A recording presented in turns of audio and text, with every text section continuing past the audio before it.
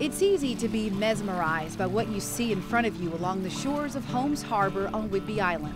I think we should go right down there by those big boulders and then we can really do something. But if you don't look down or literally under your feet, you'll be missing another world, a thriving ecosystem bustling with activity. Oh, oh, oh, oh. For nearly 20 years, Jan Holmes has been leading volunteers of the Island County Beach Watchers on educational excursions. They monitor the health of 37 different beaches on Whidbey and Camano Islands. It's an intertidal scavenger hunt. They measure slopes on beaches to see if they've eroded at all in the past year. Okay. Let's go 10 feet from this stake here. They monitor the number of species that scurry over and under the pebbles. How do their numbers compare to previous years? Oh, lots of flatworms, big flatworms. And they keep a detailed list of everything they find. It's information that goes into a big database that can be analyzed later in a laboratory. It is information they can share with other scientists. There's a lot of life here. Already we haven't moved two feet and we've seen five species.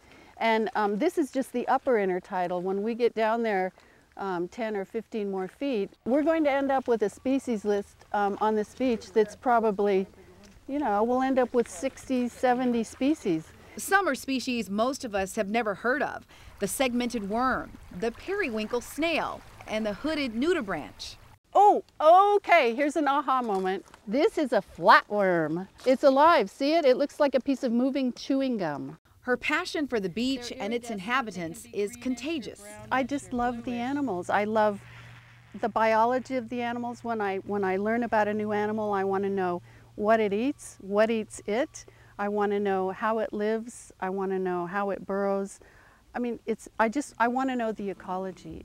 But it's not enough to simply monitor what's going on here. She wants to share what she knows and finds with others who are interested. If I can bring things to them, the people that don't have a background in marine science, and make it interesting and fun and make them want to continue, that's kind of my role. You know, you'll hear, ooh, ooh, when somebody finds something interesting. You never know what you're going to find out here. Team, we have an enormous lion's mane jelly over here on the beach. That's an ooh, ooh, ooh. this is a species of lion uh, jellyfish we have on our beach. This is the lion's mane jelly, and um, it has tentacles that sting with a vengeance, and so you never want to get near one of these guys.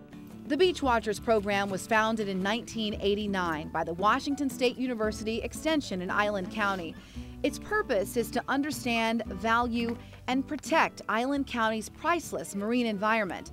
Don Meehan started the program and says Jan Holmes has been a valuable part of it for 20 years. We have this beautiful place we live in and, and she is a local citizen. She didn't get paid.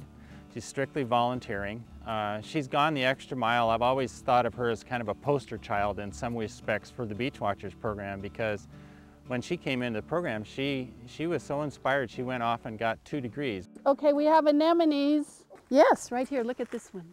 Whether she's digging for little critters or riding the Salish Sea, monitoring eelgrass that provides habitat for microscopic animals, Jan Holmes is committed to learning as much as she can about these beaches and passing it along to her neighbors who live along the shores of these beautiful islands. It's not just the plants and animals that live here. It's the connection that we have. Things we do up there impact this beach, and we all know that now, but we didn't know that before. And it's important to keep educating people so they can tell their neighbors and their kids that, you know, if you have a leaky septic out there, it's going to impact these animals here. If you put in a bulkhead, it's going to impact them. Jan Holmes hopes a different kind of impact her impact will be enough to sustain life on this Puget Sound ecosystem for years to come. Angela Russell, KIRO 7 Eyewitness News.